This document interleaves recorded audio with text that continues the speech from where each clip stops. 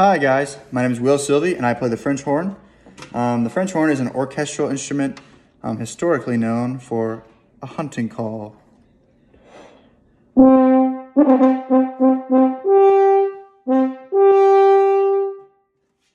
So it can be uh, real nice and loud and it can be nice and soft.